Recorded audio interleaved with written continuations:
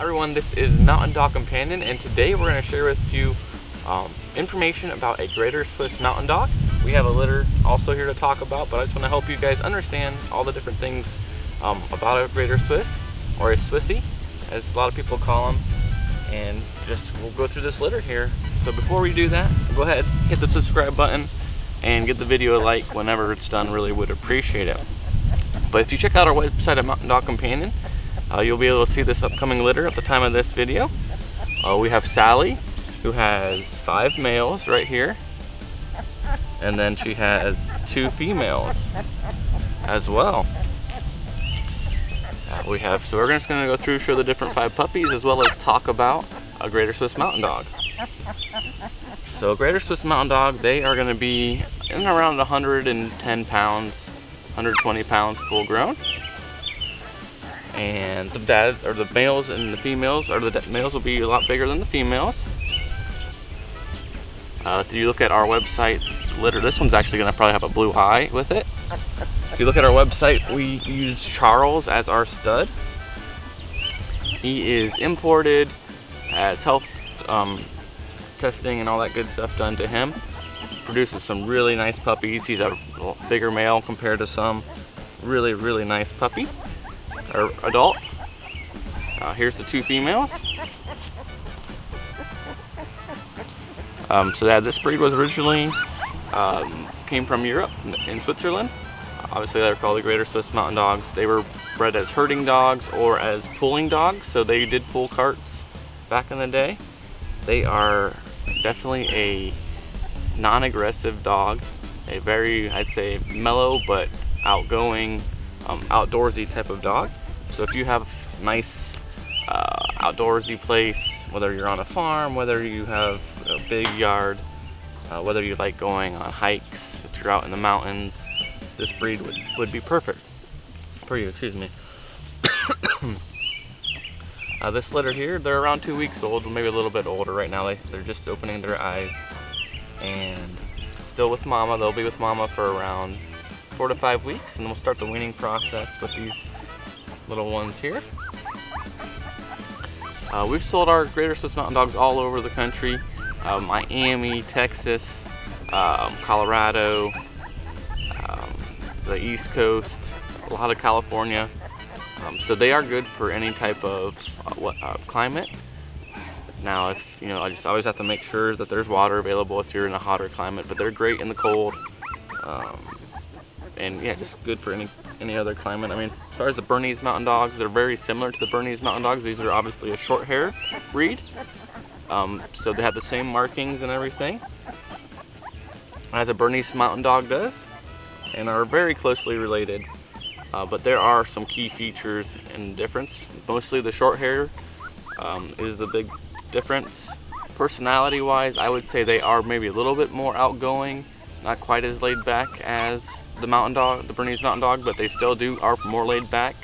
They both are chill, friendly, and non-aggressive. They do make great watchdogs, so they do definitely make a good watch. Like if somebody that they don't know walks in your area farm or, whatever, they will let you know. They aren't going to be aggressive towards them, but they'll make great watchdogs. So that's good. Um, if you guys have any questions about the Greater Swiss Mountain Dog, just comment below in the video will definitely definitely help you out. But um, we do have one reservation so far in this litter, and we're super excited about it. They're doing really, really well. So we had two girls, five boys, and yeah, just wanted to share this litter video. We'll do another videos as they get older, but wanted to talk about them. But definitely check out our website at mountaindogcompanion.com. Click the nursery page, click the uh, Greater Swiss Mountain Dogs. We also um, raise Bernese Mountain Dogs and Bernedoodles. See those as well. But hopefully this video helped you guys learn a little bit more about a Greater Swiss Mountain Dog. And we'll just keep watching the video guys, or watching the litter guys come up close here and we'll see them move around. They do have their eyes open and keep talking a little bit more about the, the Mount, Greater Swiss Mountain Dog. They do make pretty good swimmers, so if you do have a lake, they can swim.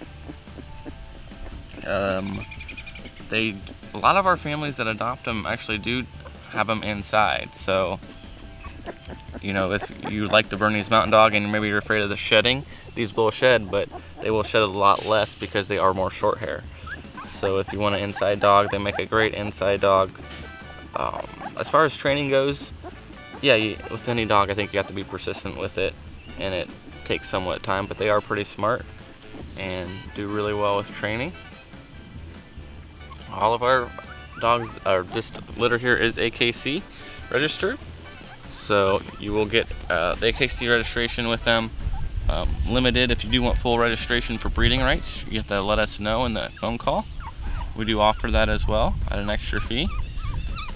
But definitely give us a call. First go to our website guys at Mountain Dog Companion. You can see these beautiful, beautiful, um, beautiful breed along with our other breeds on our website. Trying to think anything else about a Greater Swiss Mountain Dog. We went over the temperament. They're more mellow, um, non-aggressive, very friendly. Uh, they do like their owner, like somebody new. Um, it might take a little bit of time to warm up to. Um, they are, they're not skittish, they're just um, very loyal to their owner. As far as we talked about their size. They're going to be the females around 90 to 100, males around 120, 130. Uh, what else? Are they going to be bigger or smaller than a Bernese Mountain Dog?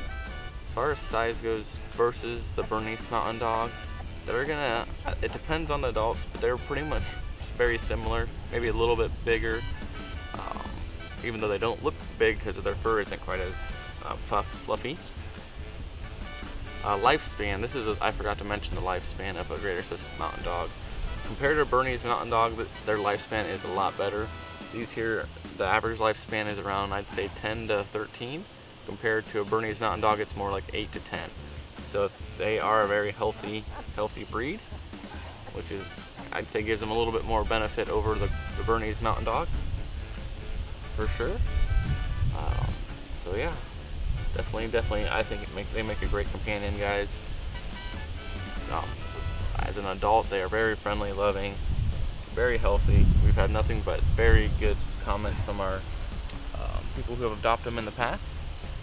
We've been doing this for quite a long time with the Greater Swiss Mountain Dogs and just definitely have a love for them. So really appreciate it, guys. Hope you enjoyed this video. If you do have any more questions about the Greater Swiss Mountain Dog, definitely let us know. We'd be more to help you, more than welcome to help you out. And hit that, make sure to hit the link below to check out, check them out at Mountain Dog Companion. And subscribe to our channel. We're gonna have Doopy doing more videos like this with our Bernese Mountain Dogs, our Bernedoodles, and so forth. So thanks guys, and have a great day.